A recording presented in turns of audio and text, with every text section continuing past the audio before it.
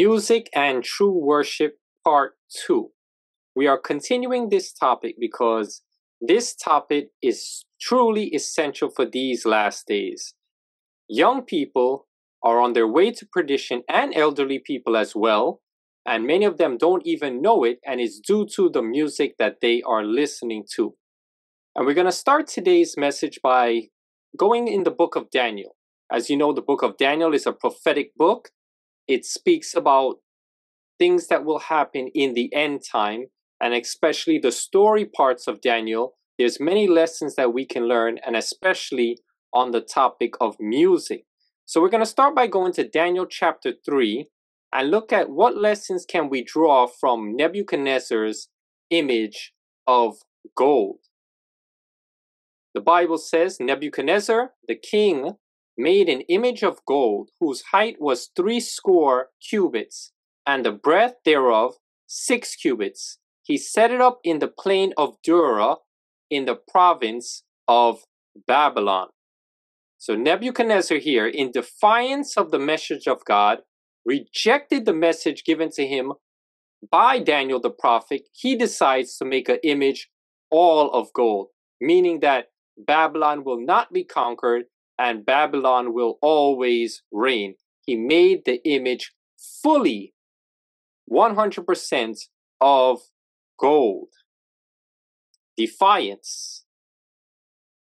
Verse 2 Then Nebuchadnezzar the king sent to gather together the princes, the governors, and the captains, the judges, the treasurers, the counselors, the sheriffs, and all the rulers of the provinces to come to the dedication of the image which Nebuchadnezzar the king had set up. Notice he's calling and gathering all, all these influential leaders. Now let's look at some of these leaders in our day. First, it mentions princes. In our time, that would be royalty, royal kings are called to this gathering he called the governors that will represent political leaders in our world. He called the captains, captains would represent military leaders. He called judges, judges would represent the judicial leaders. Treasurers, the financial leaders, and counselors. So this would be educators, individuals who have a worldwide influence, a large influence on the masses. These are counselors. You could look, think of it in our time as public speakers. For example, someone like Oprah, who has a large influence on what she says, many people listen to. Also, sheriffs, though that would be the law enforcement leaders. They are all called, and we see all the rulers of the provinces. So this would represent all regional political leaders are called, all the rulers of the provinces. So this shows that the power Nebuchadnezzar had. And this story here in Daniel chapter 3 is the type. And in the future, we will meet its antitype. And it shows, as here, Nebuchadnezzar, the king of Babylon, mystery Babylon, the mother of harlots, is the papacy, and the papacy in our in these last days, they're in close connection with everyone listed here, and they all do her biddings. Because in Revelation chapter 18, verse 3, the Bible says, For all nations have drunk of the wine of the wrath of her fornication, and the kings of the earth have committed fornication with her, and the merchants of the earth are waxed rich through the abundance of her delicacies. You read Revelation 17 and Revelation 18, you see all these global leaders are in connection with the papacy committing fornication with her, spiritual adultery. So Nebuchadnezzar the king gathered all these people to the dedication of the image that he set up. Did they come? Then the princes, the governors and captains, the judges, the treasurers, the counselors, the sheriffs, and all the rulers of the provinces were gathered together unto the dedication of the image which Nebuchadnezzar the king had set up.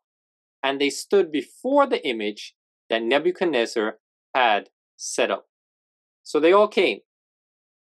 Now, Revelation 13 speaks about the image to the beast which is the union of church and state. And the image is in opposition to the three angels' messages, which is proclaimed by God's people. Here, Nebuchadnezzar, in defiance, sets up this image of gold and calls all these people to gather for the dedication of the image that Nebuchadnezzar had set up. In the future, the image to the beast will be fully set up and this image will speak by passing laws, which we know will be the Sunday law. Continuing on. Then an herald cried aloud, To you it is commanded, O people, nations, and languages, that at what time you hear the sound of the cornet, flute, harp, sackbut, psaltery, dulcimer, and all kinds of music. How much? All kinds of music. Ye fall down and worship the golden image that Nebuchadnezzar the king had set up. So notice here, as we're looking at the antitype of what's spoken here in Daniel chapter 3, the three angels' messages, the first angel's message goes to every nation, kindred, tongue, and people. It's going worldwide. But in opposition to that, here we see that the king commanded all people, nations, and languages to come. So when this universal Sunday law takes place, just as the three angels' messages go worldwide, this Sunday law will start in America and will also grow worldwide. But he mentioned that at what time you hear the sound of the cornet and all kinds of music. So we see now ungodly music played in the world and ungodly music coming into the church all has a part to play in do what? In gathering all the masses in the world to accept the image to the beast and to receive the mark of the beast. So music is critical. At what time you hear all of this music played, you're to do what? Fall down and worship the image. And individuals in these last days are listening to what? All kinds of music, not godly music, all kinds of music, and it is setting them up for spiritualism that is going to come full fledged in the future. We read Revelation 13 miracles will be taking place to deceive everyone. And by what they're listening to, they're setting themselves up to listen to doctrine of devils and what is taking place. Those who are filling their minds with so much of this music ungodly christian music ungodly worldly music if they open up their bible to read god's word what is taking place? Well now satan and the demons have those songs going and replay and replaying on their minds. So since it's replaying on their in their minds when they're reading the bible they can't concentrate because their minds is filled up with the lyrics of all these songs instead of the word of God and therefore they cannot have good bible study and therefore they are setting themselves up to go along with the mark of the beast because in that state no way can they receive the seed of God because they're not settled into the truth spiritually and intellectually because the mind is clogged up with all this music that the devil wants them to be listening to. So we must understand that this issue of music is critical for these last days. We saw in part one that before the close of probation, all this music will be taking place, ungodly music. And here we are seeing in the type Nebuchadnezzar, all kinds of music. When you hear that music, you fall down and worship the golden image. And the music taking place in our world right now is ha- doing Satan's work to get people ready to listen to doctrines of devils and to receive the mark of the beast. Verse 6 now. And whoso falleth not down and, wor- and worshipped shall the same hour be cast into the midst of a burning fiery furnace. So if you don't go along with bowing down to that image, you're going to be cast into a fiery, burning furnace, which will kill you. Therefore, at that time, when all the people heard the sound of the cornet, flute, harp, sackbut, psaltery, and all kinds of music, all the people, the nations, and the languages fell down and worshipped the golden image that Nebuchadnezzar the king had set up. So we see the masses, when they heard that music, they went along and they bowed down and they worshiped that golden image which Nebuchadnezzar had set up. In the time of Nebuchadnezzar and Daniel, thousands of Jews were taken from Judea into Babylon, into captivity there in Babylon. And thousands of Jews bowed to the image and violated commandment number one and commandment number two. The Bible only records three that stood up and did not bow. So, what are we learning? Only a tiny remnant remained faithful, and so it will be in the future when the mark of the beast will be enforced. The Seventh day Adventists, back then in Daniel's day, they all bowed down to that image. Those three Hebrew boys did not.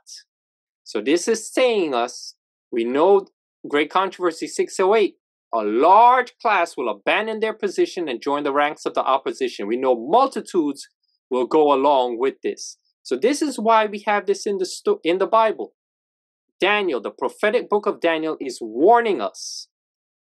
Be careful what music you're listening to because if you're listening to the wrong type of music, especially in the last days, your minds won't be clear and you're going to end up bowing down and worshiping the image of the beast and receiving the mark of the beast. In the last days, millions will follow the crowd and break God's commandments and get the mark of the beast. Because in the last days, the issue will regards to worship, especially the fourth commandment but showing the type and the antitype, Revelation 13, verse 15 says, And he had power to give life unto the image of the beast, that the image of the beast should both speak and cause that as many as would not worship the image of the beast should be killed. You don't go along with the image of the beast, should be killed. Daniel chapter 3 those who don't bow down to the image what happened to them? Cast into the midst of a burning, fiery furnace. So these books in the Bible, Daniel and Revelation, must be clearly understood and studied by the people of God because history repeats itself.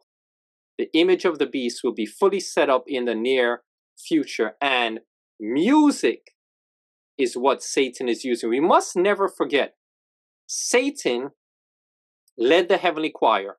Satan and the demons that were cast out from heaven, they all sang praises to God in heaven when they were good. So they know all about music. And now that they're fully evil, they're using that talent of music, working with people so that they can sing songs. They know how to make the melodies to get people to love these songs, but these songs that most people are singing, there, the, there are the theme of these songs fall in three categories: the lust of the flesh, the lust of the eyes, and the pride of life. These songs are not glorifying God; they're glorifying the lust of the flesh. Most of them, lust of the flesh, lust of the eyes, and of course the pride of life. When people singing about how much money they have, all the possessions that they have, all the love songs, the lust of the flesh, and of course the lust of the eyes goes along with that because look how many of these singers are dressing immodestly. And we are told those things which have been in the past will be in the future. Took place in the past, it's going to happen in the future. Satan will make music a snare by the way in which it is conducted. God calls upon his people who have the light before them in the word and in the testimonies to read and consider and to take heed. Clear and definite instruction has been given in order that all may understand. So we have this warning here. Satan will make music a snare, and we, God's people, we have the light in regards to true music in the Word of God and in the testimonies, which Ellen White wrote, to read them and consider and to take heed to what is written there. But sadly, many are not studying as they should the Bible and the spirit of prophecy, Ellen White's writings on the topic of music. But this statement says Satan will make music a snare by the way in which it is conducted. Now, a snare traps someone or something, a snare. She says Satan will make music a snare, trap someone. Now, what is most in most of these churches where music is being conducted ungodly? What do we see there? The trap set. We also see there the snare drum. So, how is Satan making music a snare by the way in which it's conducted? Primarily, the trap set, the snare drum, by bringing in all that drum and syncopation and repetitive chorus nonsense music into the church. Satan has brought this in, and the members in the churches are being seduced into carnal security just before the close of probation, and they're not prepared for what is soon to come upon the world as an overwhelming flood. They're not prepared for it. And the reason we have to understand music, that the angels, we saw in part one that the angels were singing praises to God and worshiping God. So the purpose of music is to glorify God, songs of praise to God for his goodness, for his love, for his character, for his righteousness. Psalms 118, verse 14. The Bible says, The Lord is my strength and my song, and is become my salvation. The Lord is my strength and my song. So, music that is made, the purpose of music, the Lord is my song. So, the songs that we sing is to honor God because He is our Savior, He is our Redeemer, He is our Creator, and He is righteous and holy. So that's the purpose of music to praise and honor God. Angels worship God in heaven because they worship God as creator. He created all the angels. And of course, as stated, Jesus' wonderful, beautiful character of love, they sing praises to God for that. We worship God also like the angels because God is the creator of everything. But we can also praise God because Jesus died for us. Jesus shed his blood for us. And Jesus has died for us and offers us eternal life if we surrender and confess our sins and repent. But the problem that's taking place is that when people are in these churches where music is now a snare for them. And when we have God's people who love the drums, now their minds is being used by the enemy and they cannot, as we saw in part one, they cannot make right decisions. And because they cannot make right decisions, they listen to ungodly Christian music, and next thing they end up listening to worldly secular artists. And they say, well, this is not that bad. But what people do not realize is that these worldly artists are getting their lyrics directly from demons. And in the past, Satan was working slowly in the music area and wasn't coming full force as he's doing now in these last days. But we are seeing now that Satan is just pushing it in his face that these artists actually worship him in the music videos and even in the lyrics. And some artists have publicly stated that their music is leading people astray. For example, a rapper, a female rapper by the name of Cardi B, she said that these type of rap songs that many of these people are singing, herself included, these songs, she said, these songs are activating demons. So by listening to these songs, you're bringing demons into your area, into your household by listening to these songs. Now, who would want to have demons in your house torturing you? But these type of songs are activating demons to come and attack the individual. Another artist by the name of Katy Perry, she said that she sold her soul to a devil, to the devil in an interview. This is what she said. You see, in these last days, rappers are even now acting effeminate and wearing dresses. So we see Satan is truly behind this music industry, and he beco- because he knows that many people worship these people as idols, therefore he's having the men acting effeminate so that mankind can also, the men cannot be true men, they would act feminine. And also, he's using them in their lyrics to keep people mind focused on worldly things and not to focus upon God. And like I stated, these people are getting more and more bold as we see in this verse that the Lord is my strength and my song. No, these artists are not saying nothing about God. They are turning people away from God, so much so that the rapper Jay Z in a lyric said that Jesus can't save you.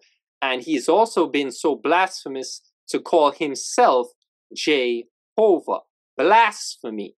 So this is how Satan is now is just pushing it right in your face and saying that these music artists, they are mine. Beyonce, Jay-Z's wife, has gone just as bad. She's full of demons. And she also said that in a lyric, I plugged my menses with pages from the holy book. A lyric saying that she's using pages of the Bible as a tampon or a pad. This is how these individuals are so satanic. But millions of people are worshiping these people and listening to their songs day after day, hour after hour. These are individuals that many people who go to church are still listening to these people throughout the week. And we need to be aware of these things. And there was a documentary called "They They Sold Their Souls for Rock and Roll." You could watch it on YouTube with Good Fight Ministries. While many artists are saying that these lyrics that the pen just started moving, and these lyrics did not originate with themselves; that it was just given to them from demons. Pastor John Lomacang with 3ABN. He did a series called Unclean Spirits where he exposes all of this evil in the music industry.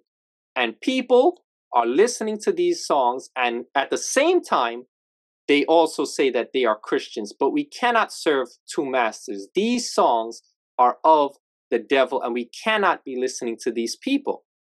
Now, I'm going to show you in a song how these lyrics are all satanic. All of these songs that people are singing originate from the devil himself and other demons.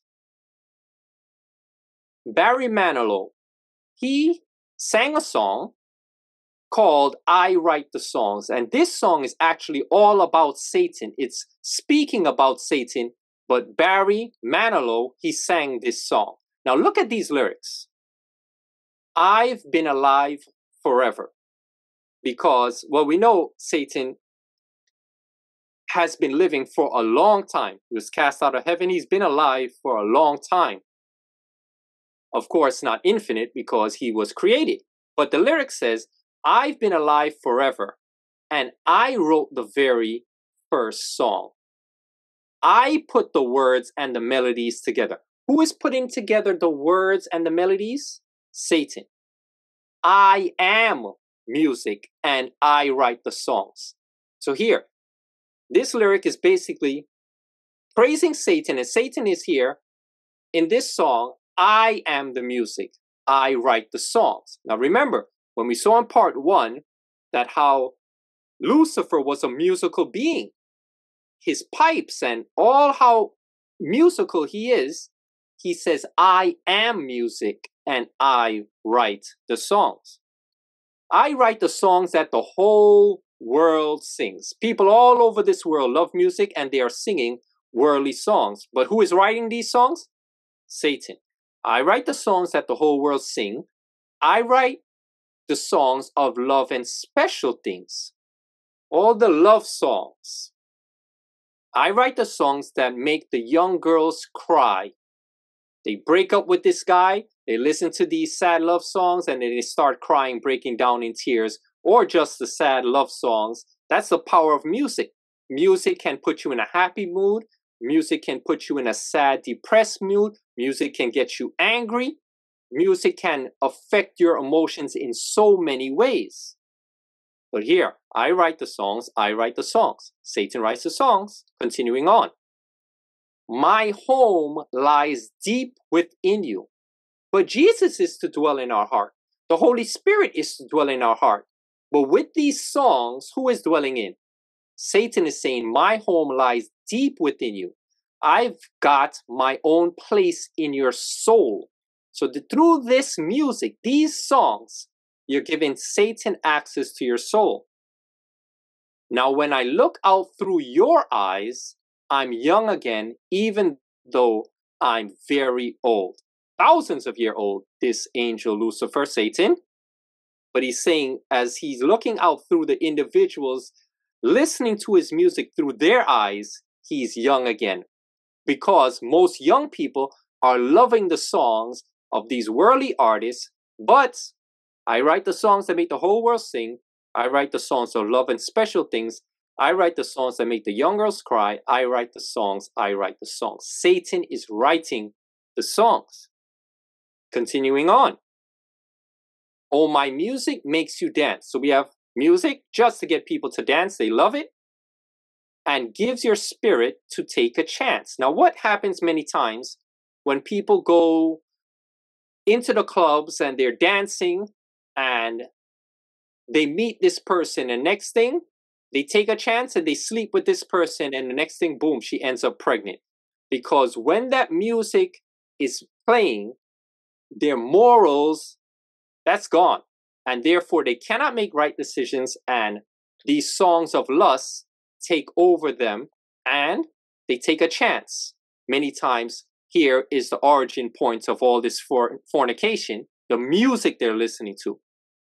I wrote some rock and roll so that you can move. So notice, Satan has songs for every different class of people. Some like love songs, some like to dance, some like different type of music, rock and roll. Satan has lyrics and melodies for all classes of people upon the whole world. Because here, I wrote some rock and roll so you can move. Music fills your heart. Well, that's a real fine place to start. Music fills your heart. Well, that's a fine place to start. Satan wants access to your heart. He is the one who sets the captives. He gets the captives, but he doesn't want to free the captives. He wants everyone to be following him through the music. It's from me, it's for you. It's from you, it's from me. It's a worldwide symphony. So his music that he has these artists singing. It's a worldwide symphony. People all over this world are singing these songs that offer praise to Satan. And many of these people don't even know it, just as many people worshiping on Sunday, the venerable day of the sun, Satan, Lucifer, light bearer, when people are worshiping on the day of the sun, that worship goes directly to Satan and they don't even know it. Instead of worshiping on the seventh day, the Sabbath, they worship on Sunday. That worship goes to Satan. And many people singing these songs, they don't realize that they are worshiping Satan because he writes the songs. I am music and I write the songs. Take heed, brothers and sisters, and warn others about the music.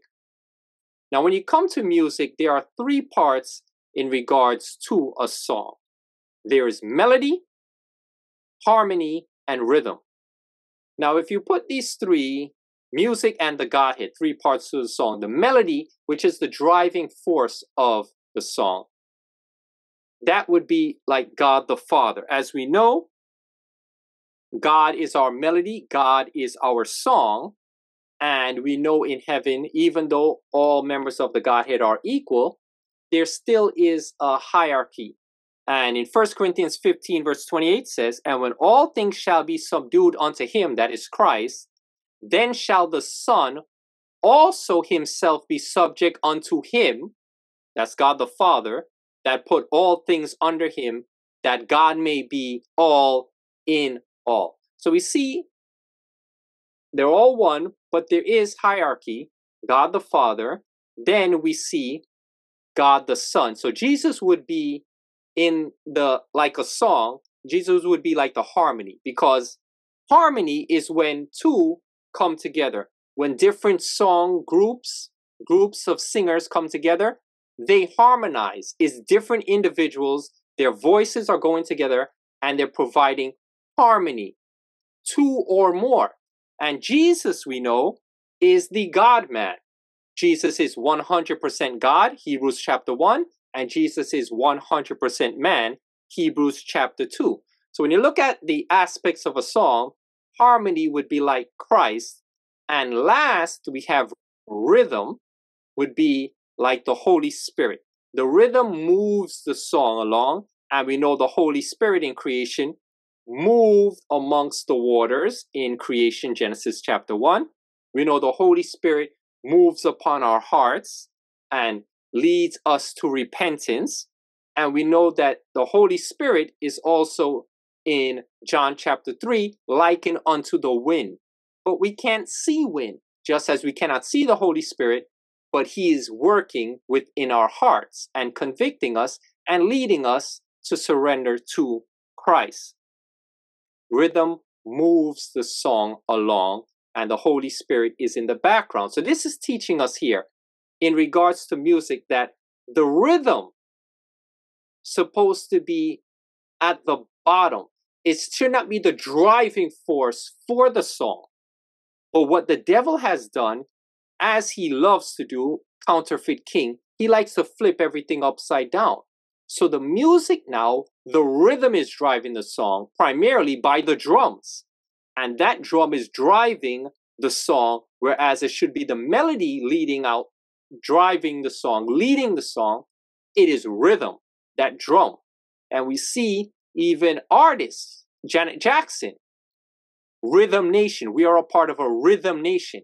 And you see songs about the rhythm, the rhythm will take control of you. So this is what the devil is doing. He wants to everyone to beat on to follow the beat of his drum. And what's happening? Vocals are being drowned out and the rhythm is leading forward. So this is a principle in regards to music. The lyrics should never be drowned out by the drum or by any accompanying instrument. This is why we saw in part one about the harp. The harp can be playing and you could be singing, but the harp is not going to drown out the vocals. Neither would a guitar drown out vocals. But what will drown out vocals easily? The drum, because it's so loud that instrument, banging on that will drown out vocals and that will put rhythm up front and people will be moving to the rhythm instead of the melody leading out. Satan flips it upside down. So God gives us lots of warning in regards to music. Angels are hovering around yonder dwelling. The young are assembled. There is the sound of vocal and instrumental music. Christians are gathered there. But what is it that you hear? It is a song. She calls it a frivolous ditty, fit for the dance hall. Let's pause here. The young are assembled. They're hearing vocals. They're hearing instrumental music is playing. But she says the music that is being played is a frivolous ditty. And that type of music is fit for the dance hall. So that type of music should not belong in the church. She calls it frivolous ditty. Now, what happens with that type of music is playing. Behold, the pure angels gather their light closer around them. The angels are gathering together, and darkness envelop those in that dwelling. So when they're in the church with that type of music playing, the frivolous ditty, the type of music that rhythm is leading forward, it's fit for the dance hall, music that wants you to dance and tap your foot and bob your head and start rocking from side to side. What is taking place? Darkness is around, envelops that dwelling. Darkness will envelop those churches. The holy angels now are moving from the scene. So the good angels, nope, they don't want to be here. They leave that scene. Sadness is upon their countenances. Behold, they are weeping the holy angels are weeping when God's people are in churches and the music is frivolous ditty and the music is fit for the dance hall. The angels are leaving. They cannot stay there when that is being played and they are weeping. And pastors and elders are allowing this music fit for the dance hall to be played in churches and all the holy angels are gone and demons is all in that church now. This I saw repeated a number of times all through the ranks of Sabbath keepers. Now, picture that was written in her time. What about in our day? So, in our day, everything is multiplied exponentially because sin is increased exponentially. And we know God's church is in this lukewarm state. This is multiplied times and times all through the ranks. Worldwide, this is taking place. Music fit for the dance hall. Angel, holy angels are gone. Holy angels are weeping. Jesus is sad. Holy Spirit is withdrawn from these places. He never manifests himself in such a bedlam of noise. Demons are taking over. Music, continuing, has occupied the hours which should have been devoted to prayer. Music is the idol. Now, notice that. We saw in Daniel chapter 3 the golden image bow down, worship the image, or you throw it in a fiery furnace. That's a type for the image to the beast. But she says here, music is the idol. So once again, music is leading people astray from God, ungodly music. Music is the idol which many profess Sabbath keeping Christians worship. So if these Sabbath keeping Christians, music is their idol, they are setting themselves up to get the image of the beast. And they're breaking God's commandments because commandment number two condemns idolatry. Satan has no objection to music well, we saw in the lyrics of that song that he writes the songs to make the whole world sing. Satan has no objection to music if he can make that a channel through which to gain access to the minds of the youth. So, who is Satan primarily targeting with the music? It's the youth. Because many of the older people have enough sense that as they lived and got older, they see that the, all music has gone down in morality and the music they can see clearly now that this is of the devil. But the young people they're liking how that music makes them feel. They're liking the beat. Remember the rhythm is up front now because satan flipped it and it's their idol. Anything will suit his purpose that will divide, divert the mind from god and engage the time which should be devoted to his service. So, in time devoted to God is spent in listening to music. But in the Bible, we have God's song. Isaiah chapter 5, verse 1 and 2. Now I, God, I will sing to my beloved a song of my beloved touching his vineyard. This is speaking about God's church, his people. My beloved hath a vineyard in a very fruitful hill. And he fenced it and gathered out the stones thereof and planted it with the choicest vine and built a tower in the midst of it and also made a winepress therein. And he looked that it should bring forth grapes and it brought forth wild grapes. Now, I'm not going to go in detail into this song because my brother did a message on the Cleaver of Truth YouTube channel in detail on this song. The message is entitled The Lord's Vineyard. I recommend you listen to that message. But the purpose why I brought this up in this message is because God says, I will sing to my beloved a song of my beloved. And when you look at this song, you see metaphors. You see that this is a prophetic song and it's showing God's love for his people. So you see, there is doctrine, there is teaching. God's songs is rich and it edifies the soul, not the worldly music, not the ungodly music using Christ's name, but with the music is not glorifying God. So this is God's song. Worthwhile reading Isaiah chapter 5 and watching that message, The Lord's Vineyard, on the Cleaver of Truth YouTube channel. Now let's look at the harlot song as we are contrasting that with God's song. Isaiah 23, verse 15 and 16. It shall come to pass in that day that Tyre shall be forgotten 70 years, according to the days of one king. After the end of 70 years shall Tyre sing as an harlot. Notice that. Tyre is going to sing as a harlot. Taking harp, a harp, but that's God's instrument. That's what the angels play. That's what the saints will play when they go to heaven. No, no, no.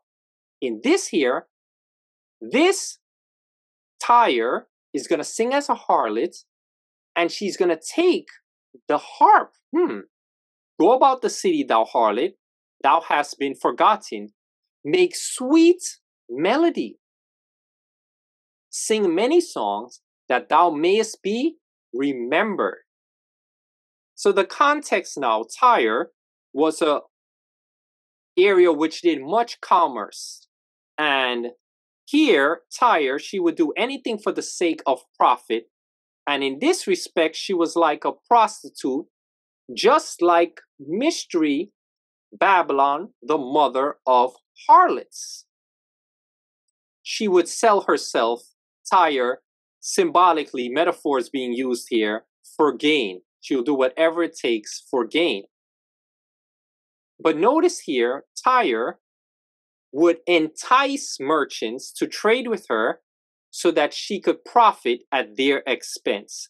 And here in this parable here about Tyre, she's compared to a lewd woman singing and playing and using song to seduce unwary men. Just like Mystery Babylon the Great, the mother of harlots. So we see even God here is using music here sing as an harlot, and as an harlot, she can also sing songs, but and also make melody, but it's not godly. So this teaches us principles. We are seeing principles in the Word of God that there is songs being played which has melody, but many times the lyrics are wrong and they do not glorify God. So Satan, as he writes the songs for the whole world sing, he will have some songs with good melody, bad lyrics. He will have songs with good lyrics, bad instruments being played with the melody and the drums, sorry, with the drums. So he plays both sides because his goal is to get everyone. Because sometimes people say, well, the lyrics are good. Yes, but the music, the instruments are bad. And then some songs opposite way. So Satan doesn't care. His goal is to deceive mankind and he uses music. So for example, many times say, well, I listen to, I love Jim Reeves and I love the song I'll Fly Away. It might have a decent, fine melody, but what is the lyric saying? When I die, hallelujah, by and by, I'll fly away. When you die, you fly away? Absolutely not. John 5, verse 28 says, They are in the graves. And when Christ comes, he raises the righteous from the graves. And after the thousand years millennium, he will raise the wicked from the grave. No, when you die, you do not fly away. So this is once again, when people are singing these type of songs and not paying attention to the lyrics, but just focusing on the melody, that going into their subconscious, next thing they believe when you die, you don't really die. And that is the lie Satan said to Eve in Genesis chapter 3. So we must be very careful when we're listening to music.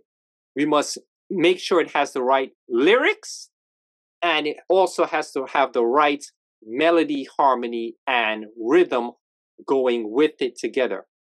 Now, there is a passage in the scriptures, which once again I mentioned in part one, people look for any excuse to do as they please in the churches and throw out reverence for God and look for any passage as a justification. And this is another passage which people use, and it is Psalm 150. Psalm 150 is the last psalm in the book of Psalms. Now, these psalms throughout, there's 150 of them, they are songs. They are offering praise to God, and many of the psalms also are prayers to God. So, any emotion, anything you're going through, there is a psalm that can help you. And if you look in Psalms, for example, these last Psalms, Psalms 146 starts with Praise ye the Lord, praise the Lord, O my soul. That's Psalms 146, verse 1. Psalm 147, Praise ye the Lord. Psalms 148, verse 1. Praise ye the Lord, praise ye the Lord from the heavens, praise him in the heights. Psalm 149 starts with verse 1 Praise ye the Lord, sing unto the Lord a new song. And then the last psalm, Psalm 150, starts with Praise ye the Lord. So these last psalms in the book of Psalms is focusing on praise to God because the whole books of Psalms are songs of praise to God. So it just makes sense that the last Psalms in the book of Psalms are culminating, meeting a climax, climax at the end of the book, focusing on praise to God. So the final psalm is a psalm of hallelujah, of praise to God. And Psalm 150 concludes Psalms with a call for everything that has breath to sing an anthem of praise to God. And it teaches us that all instruments that are made for music and music purpose is to give praise and honor to God, that the music and the music instruments should be all be used in a godly way to give praise and honor to God in a way that is acceptable to God as it is found in His Word. With that understanding that this is the last psalm, let's read Psalms 150, verses 1 to 3. Praise ye the Lord. Praise God in His sanctuary. So in the sanctuary, we offer praise to God. Amen. praise him in the firmament of his power. Now, the angels up in the firmament in the heavens, they offer praise to God. Praise him in the firmament of his power. So we praise God as he is in heaven, us humans, and the angels who are in the heavens, they also praise him and they worship him for his mighty power. Verse 2 Praise him for his mighty acts. Amen. Praise God. Every day we are alive is God mighty acts in our lives. We praise God for that. Praise him according to his excellent greatness. Amen. Now it goes into instruments now. Praise him with the sound of the trumpet. Praise him with the psaltery and harp. So now musical instruments, saying use these musical instruments and praise him. Verse 4. But notice the verses in regards to the musical instruments is not saying that in the sanctuary. It's not saying, or it's not saying in the worship setting. It's just saying praise him with the sound of the trumpets. So once again, we cannot read into and put into things in the scriptures that is not there and put our own interpretation on the word of God. The Bible is its own interpreter and we take it as it reads. Praise him with the sound of the trumpet. Praise him with the psaltery and harp. Verse 4. Praise him with the timbrel and dance. Praise him with stringed instruments and organs. Now, this is the verse. Verse 4, they love. Ah! Praise him with dance. So we can go to church and we can dance and we're praising him with dance. Uh, I don't think so. Now, actually, if you have the a King James Bible with the HMS Study Bible, HMS Richards Study Bible, and the Ellen G. White Study Bible, that word dance in Psalm 150, verse 4 when I look at it in my Bible and I see the word dance, there is a cross reference, a footnote. And when I go to the bottom for that footnote, for the word dance, it actually is the word pipe. And that would make perfect sense. So this is one times when in the Hebrew word there, when the translators were translating in the King James Bible to English, that word there they were struggling with it and they put the word dance there. But the actual Hebrew word there, and if you have a st- uh, study Bible, HMS Richards Bible, and your King James Bible has the footnote, you go in the bottom, you'll see the word pipes.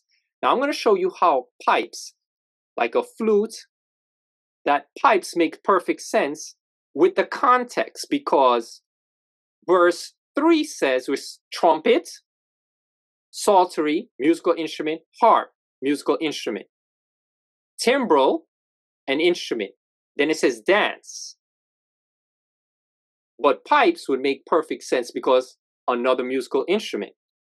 Praise him with string instruments, more instruments, and organs, musical instrument. Praise him with loud cymbals.